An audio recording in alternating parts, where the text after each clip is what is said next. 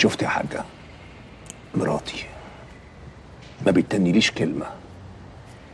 يعني اللي أنا عايزه. هيتم بالحرف. هنشوف. هلا قول يا خالد. ضرة منيرة اللي عمرنا ما شفناها. لما كانت جاية عايزة تاخد لها فدان أرض كانت جاية من نفسها؟ ولا كنت أنت اللي باعتها؟ قصدك يا ست الكل قصدي واضح يا خالد مش محتاج تفسير. زي ما أنت غرضك واضح مش محتاج تفسير. ضرة منيرة اللي عمرها ما شافتها. بعد موضوع الأرض فجأة كده يطلع في دماغها إنها تيجي. والنهاردة تيجي أنت تقول لي منيرة ومنمن ومني مراتي. الله شوف الصدف يا أخي. بص يا حاجة انت بتظلمي شريفة زي ما انت ظلماني دلوقتي. وأنا مش عايزك لا مؤاخذة تنسي كلام ربنا سبحانه وتعالى. إن بعض الظن اسم. أستغفر الله العظيم من كل ظن ومن كل اسم. اسمع يا خالد. منيرة دي تخصنا. تخصني أنا وتخص إخواتها وفلوسنا بقى. نتبرع بيها. نولع فيها. ناكلها حاف حتى ده شيء يخصنا. كده يا حاجة. شايفاني زبالة قوي للدرجة دي؟ واسامحك على كل حال. بس عيب قوي اللي انت بتقولي ده يا حاجة. ده إحنا مؤاخذة حاجين مع بعض بيت الله الحرام. عارف يا خالد لو انت قلت لي الكلمتين دول هناك عند بيت الله الحرام لو حسستني ولو للحظة إن أنت عادد منيرة دي مراتك ولا معتبرها بأي طريقة؟ دايس كنت صدقتك؟ كنت خدت كلامك على محمل طيب. لكن أنت جيت متأخر قوي يا خالد. التوقيت خانك. يا تاجر يا ابن السوق.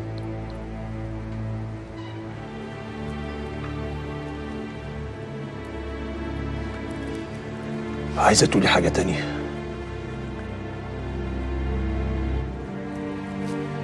تانية شكله مفيش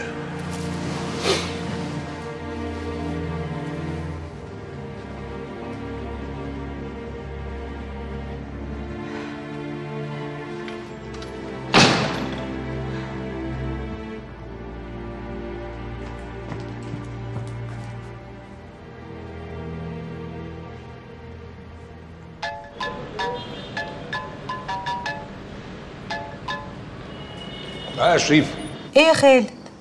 ما كلمتنيش يعني النهارده طول اليوم ولا سألت عليا. يا كليك اعمل بيكي إيه في حاجة ولا إيه؟ يعني على الأقل تقولي عملتوا إيه مع شاكر. عملنا كل خير يا أختي خلاص الناس مضت وخدت الشيكات. تحب اصور لك الشيكات؟ صورة طبق الاصل عشان تصدقي؟ إيه الطريقة اللي بتتكلم بيها معايا دي؟ مش عجباني خالص على فكرة. هو انت حكايتك إيه؟ إيه طريقتك مش عجباني شكلك مش عاجبني. في اوليه انت هتربيني من اول وجديد ولا إيه؟ لا بقى ده انت متغير خالص. انت إزاي تكلمني بالطريقة دي؟ أنا بقى مش طبيعي. ماشي؟ عايزة حاجة تانية؟ ألو. الله في ستين داهية. نسوان تقرف.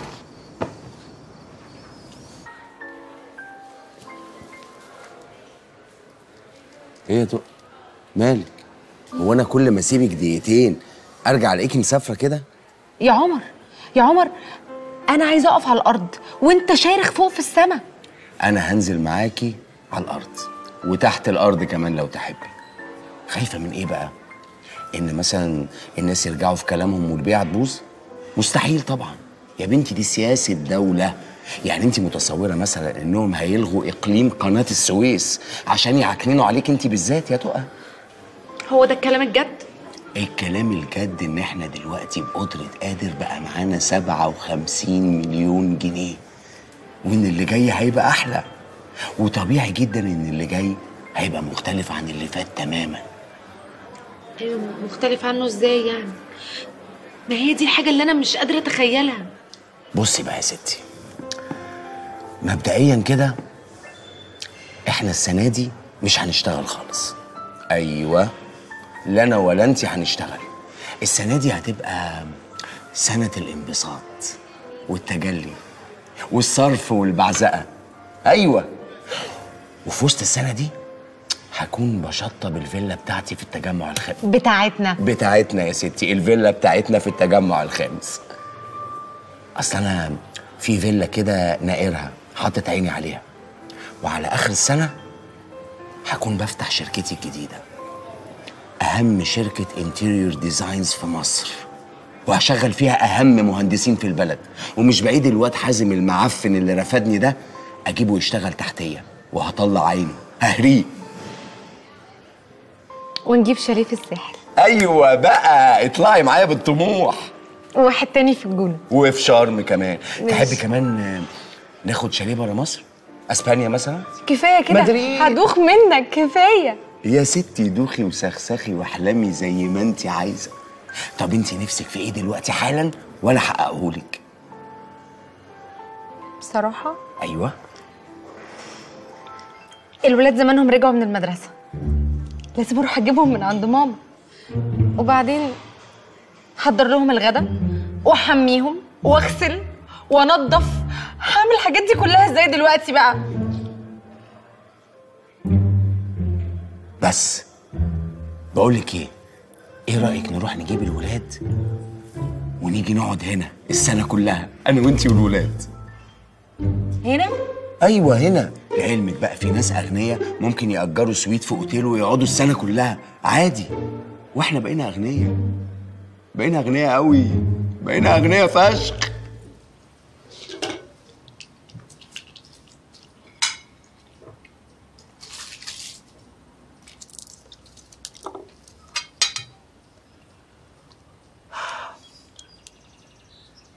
هو في إيه؟ في إيه في إيه؟ هو أنتوا متخاصمين؟ بقول لك يا هايدي عملت فيها عيانة وعديتها لك.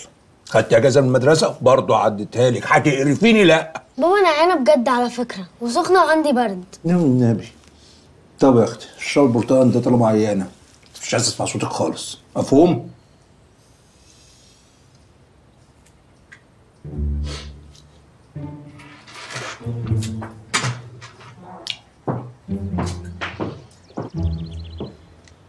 ماما. ماما. إيه في إيه؟ في إيه؟ على فكرة أنا سمعت إن الأب والأم لما بيبقوا كده وكمان بيحبطوا في بنتهم البنت بتمشي بعد كده في السكة اللي مش كويسة. لا يا شيخة. طب جربي كده. جربي عشان أكسر لك رجليكي الاتنين فلا تمشي لا كده ولا كده. إيه؟ خلاص يا بت يلا كلي. ادب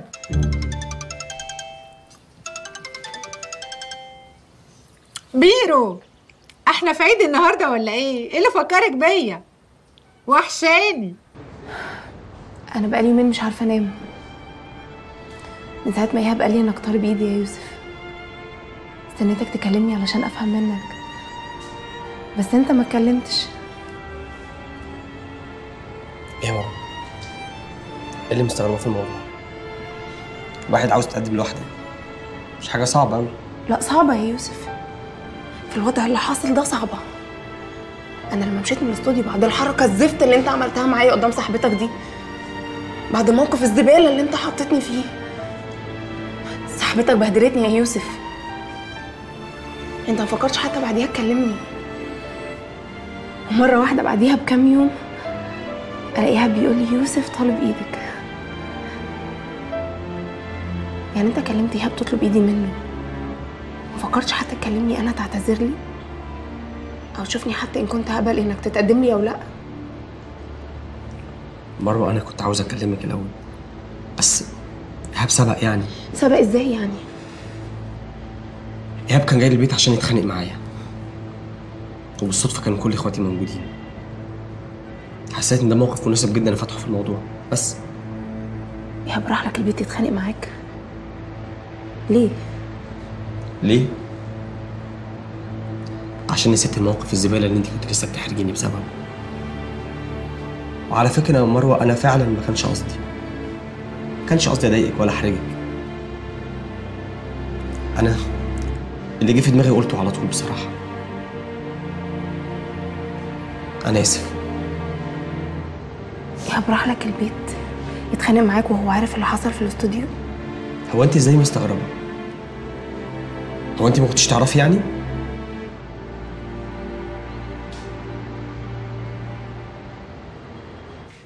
سحر سحر هاي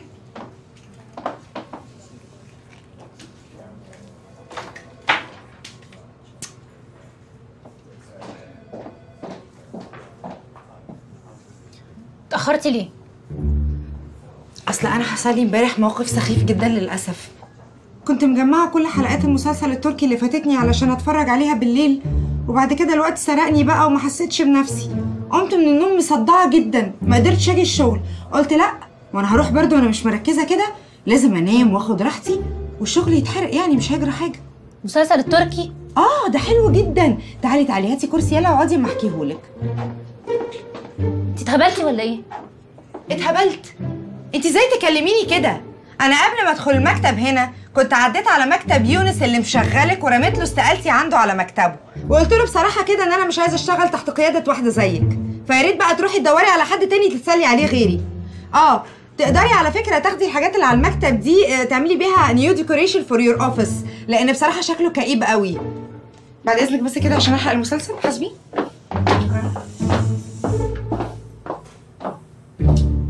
شغل إيه مجنونه أنت اللي عايزاني أرجع له. انت بنت اتجننتي. شكلك شاربة حاجة من امبارح ومؤثره عليكي لغاية النهارده. افهميني بس تسمعي عن واحد اسمه اسماعيل أبو العزم ده راجل متين وتقيل قوي. الراجل ده عنده حتة خزنة فتحها لنا على الضرفتين وبيقول مدوا ايديكم وكوشوا. عايزين تعملوا أفلام اعملوا مسلسلات يلا. لو عايزين تعملوا سكتشات كمان اعملوا اللي أنتوا عايزينه. الراجل عايز ينزل السوق بتقله عايز يبقى نمرة واحد. وأنا مال أم أنا ومال الموضوع ده؟ لا يا حبيبتي ده انت مالك ونص بقى. الراجل عايز يعمل جزء تاني من الفيلم بتاعنا وانتي. ده بعت يجيب عماد الزغب من أمريكا عشان يعمل له أربع مشاهد. وعطيله شوية فلوس. بس عماد ده مش كان بطل وفتح مطعم هناك في أمريكا؟ أيوه بس بيعرف يشغل دماغه مش زي حالاتك. عماد قال أجي بقى إيه؟ اجامل إسماعيل. يمكن أحتاجه في يوم من الأيام. اهو ينفعه ينفع ولاده يبقى له ظهر في مصر. يا أختي لا ظهر ولا بط أنا يا بنت بطلت من زمان والناس كلها عارفة. وبعدين انت ناسي أنا كنت رقاصة شمال في الفيلم. شايفة اللي قدامك دلوقتي دي بقت عاملة إزاي؟ ما تقلقيش. كربونة من اللي قدامي وبطلة. هتطلعي بقى في الجزء التاني من الفيلم تقولي المورالة بتاعت الفيلم. إيه رأيك؟ يلا اشربي الليمونة اللي قصادك ده واشوفك العيد الجاي كل سنة وانت طيبة. بصي بقى انت كده هتخسريني الراجل. الراجل معتمد على الله وعليا ان أنا اكلمك واقنعك. ده عارف ان أنا انتمتك. بقولك إيه؟ الحكاية دي مرفوضة خالص. اسكتي بقى بطلي كلام فيها يوه اسمعي كلامي بقى. اقعدي انت بنفسك مع الراجل قولي له الكلمتين دول. اهو لو ما طلعتيش بالفيلم تطلعي بأي مصلحة. بس يا بنت يا مخبول فكري كويس. المصلحة.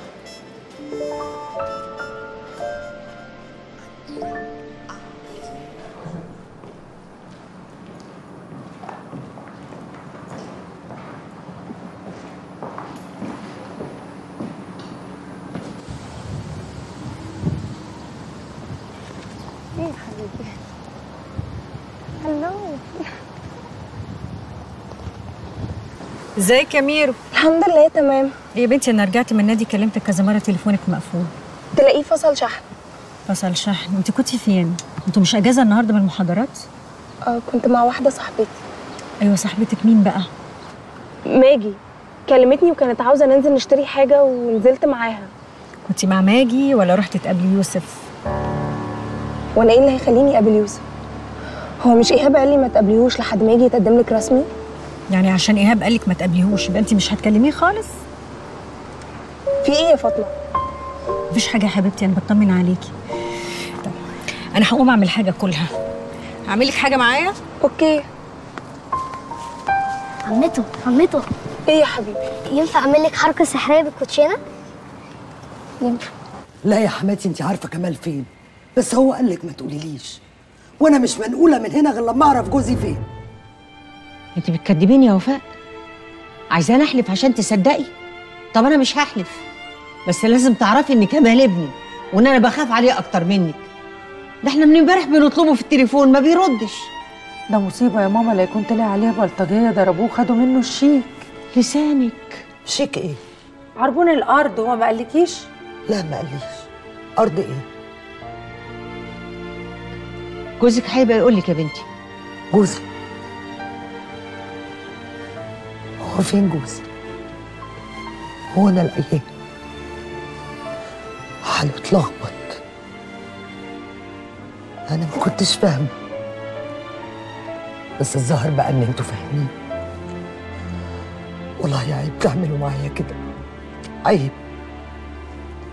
أنا مش واحدة من الشارع عشان تخبوا عليا. حرام يا ماما. وفاء لازم تعرف كل حاجة. هو كمال أخويا بيعمل فيها كده ليه؟ ده فلوسه وماله لها فيه هي وبناتها. ماشي يا منير. أنا داخلة أصلي. قولي لها بقى كل اللي أنت عايزة تقوليه.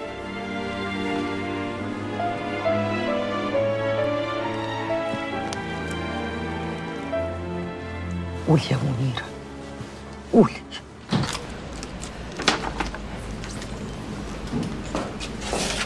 إزيك؟ ما ينفعش كده يا كمال. ده مكان شغل. طب ما أنا جاي في شغل. أنا فتحت حساب عندكم في البنك.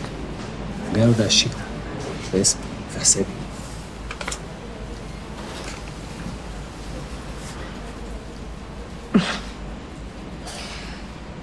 ده شيك ب 2 مليون و800 امم أنا عارف. نودع المبلغ ده في حساب حضرتك؟ آه في التشيكينج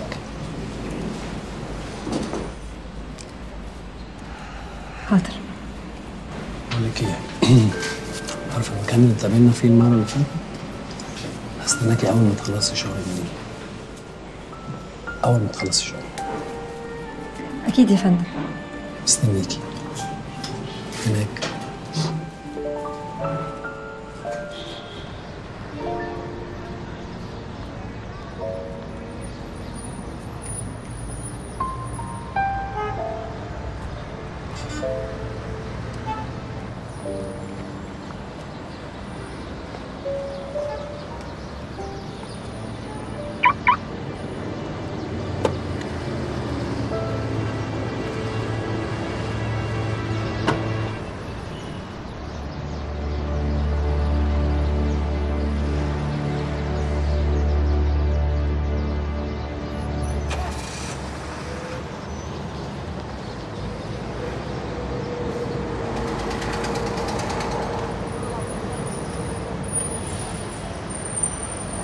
هم. يعني قررت لي.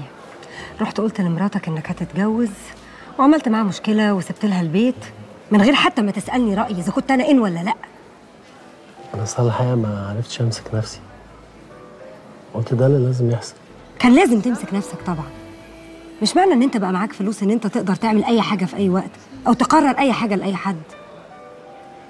لا بس أنا أنا أنا قلت يعني بعد اللي حصل في التليفون فيبقى طبيعي إن أنا أعمل كده. وهو إحنا لما اتكلمنا في التليفون قلنا إن إحنا هنتجوز؟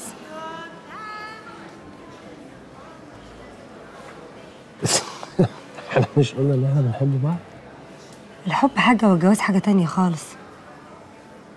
أنت مش فاهم أنا في إيه ولا إيه. في إيه؟ ما أنا مش فاهم. ما أنا مش فاهم يا لبنى في إيه؟ أنت مضلمة الدنيا ليه كده؟ ما عادي إن واحدة تخش تجربة جواز فاشلة تنتهي بالطلاق وتبقى عايشة مع ابنها وعادي إنها تتجوز مرة تانية. بس أنا ابني بيكرهني. كريم شايف إن أنا سبب طلاقي من أبوه. وهو متعلق بيه. للأسف. وكل ما بحاول أقرب منه بحس إن هو من جواه ما بيحبنيش. فعايزني أعمل إيه؟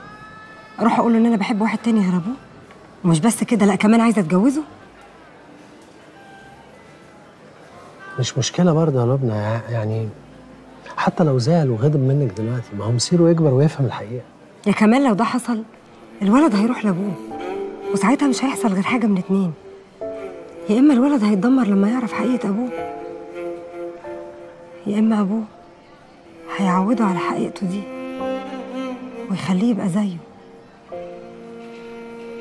وأنا الموت عندي أهون من إن ده يحصل.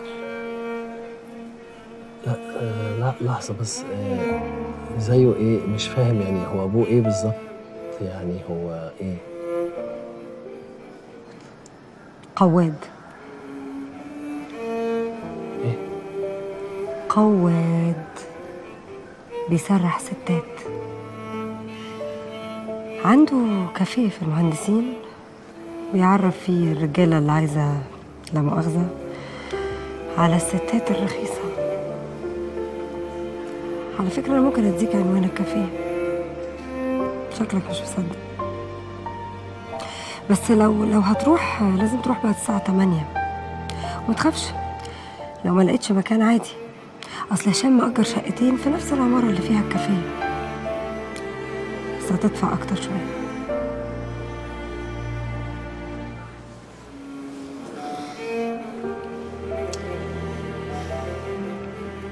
انت كنت متجوزة ده؟ انت يا لبنى ما هو أصلا لما بتشوفه ما بتحسش إنه كده. شخص ظريف لطيف وراجل راجل قوي. وجدع جدا. خدوم خدوم قوي ودمه خفيف. وثقت فيه. أمنته على نفسي. مش سنة ولا اتنين. ده أنا معرفتش حقيقته إلا بعد ما كريم بقى عنده تمن سنين. تمن سنين وأنا مأمناه على نفسي. وابني. وثقت فيه وحبيته. في الآخر يطلع كده.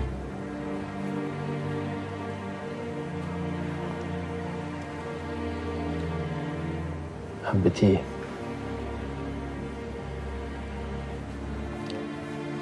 بعد ما أنا وأنت سيبنا بعض تخيلت إن عمري ما هحب حد تاني. لحد ما ظهر هشام وغير لي فكرتي. بس دلوقتي لما بفكر ما ببقاش عارفة. هو أنا حبيته فعلا؟ ولا قلت لنفسي انت يا بنت بتكبري؟ وموضوع كمال ده خلاص صفحة واتقفلت. ولازم تشوفي نفسك وتعيشي حياتك. تخيل تخيل إني بعد ما عرفت حقيقته كان بيحاول يبيع لي إني لازم أقبله زي ما هو وإن شغلانته دي زيها زي أي شغلانة تانية.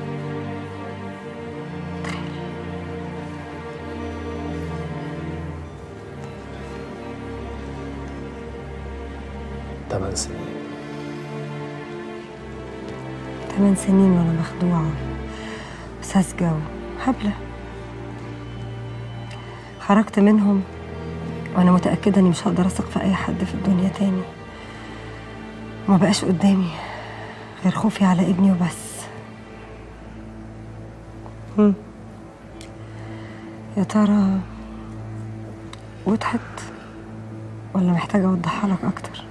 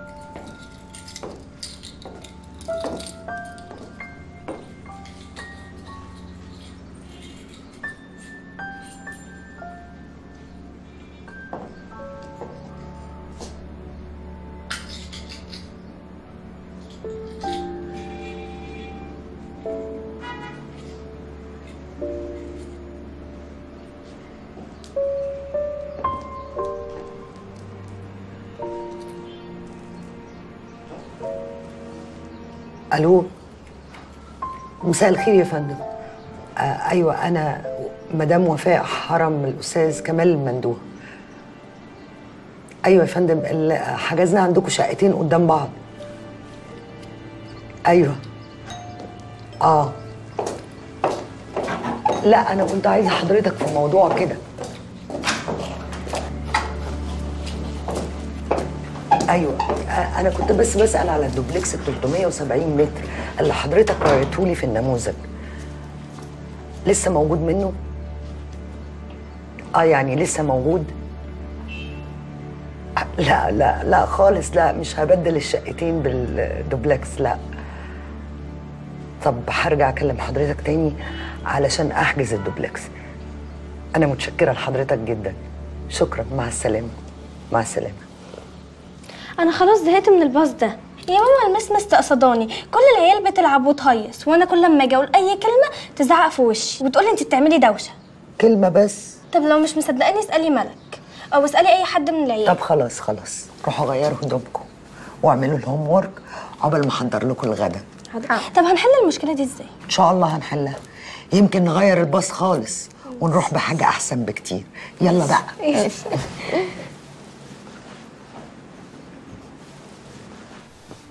هو انت إيه؟ إيه؟ مفيش تفكير خالص كده؟ خالص؟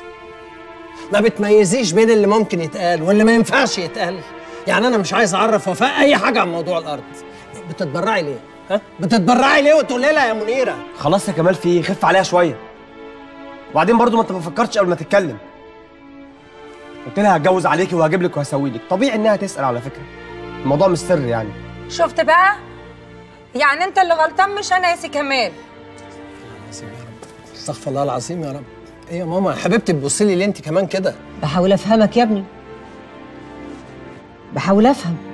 اخرتها إيه معاك؟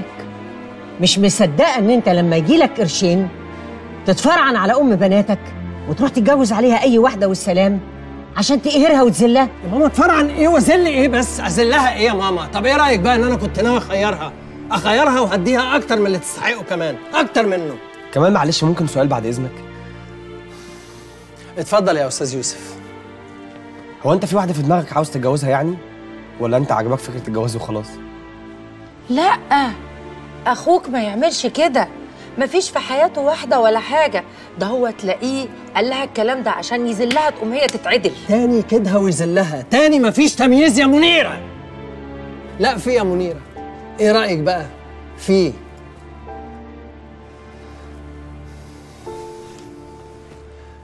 في يا ماما. لبنى. فاكراها؟ لبنى؟ لبنى مين؟ آه. مش دي اللي كانت زميلتك في الجامعة؟ لا يا ماما ما كانتش زميلتي. لبنى لبنى ما كانتش بس زميلتي يا ماما. لبنى اللي أنا اللي رحنا تقدمنا لها زمان يا ماما. واهلها رفضوني وقتها؟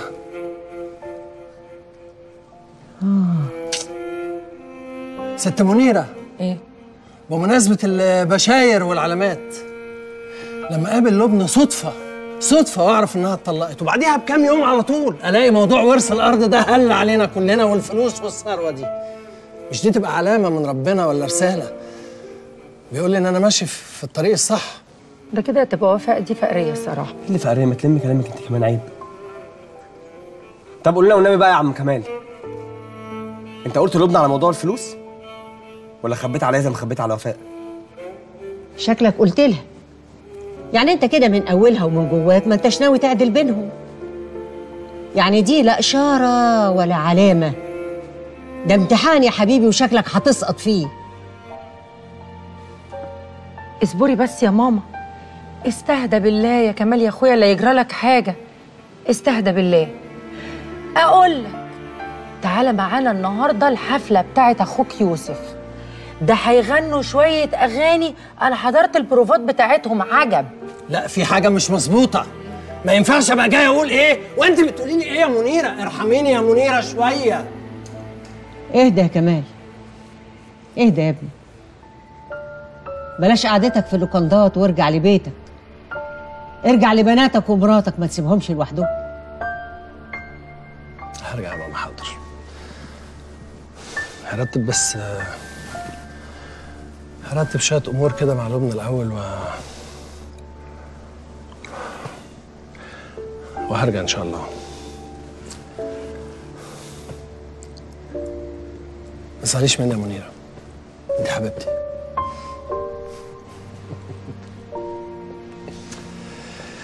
اشرب ينسون كتير. خلي بالك من نفسك. كان نفسي أبقى معاكم مع السلامة. مع السلامة. مع السلامة يا ماما.